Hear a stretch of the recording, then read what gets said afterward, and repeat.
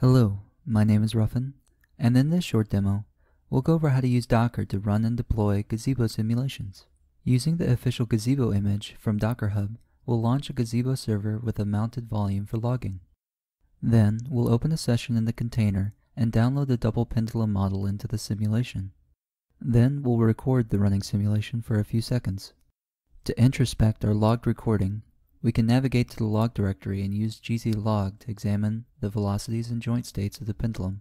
This will allow you to step through the trajectory of each component.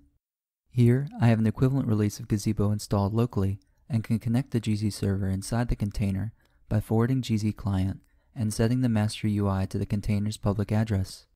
From here, we can control or monitor the state of the simulation in the container by using the graphical interface. We can add more pendulums, reset the world, make more logs, etc. Here we can view the process tree to witness the container's namespace isolation.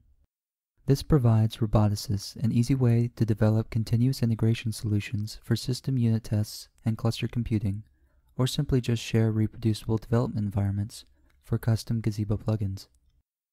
Thank you for watching.